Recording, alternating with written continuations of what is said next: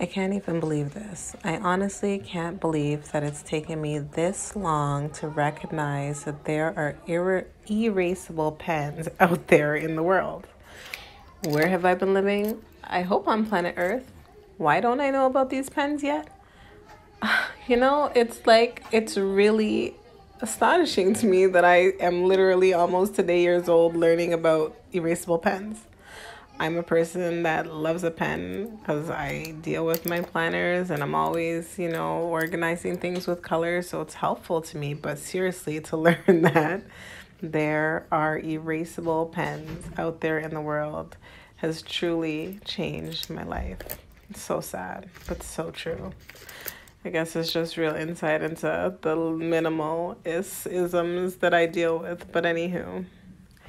It is what it is. I hope you guys know about these. They're so cool, erasable pens. What? Watch this. Oh my god. Just gone. Gone.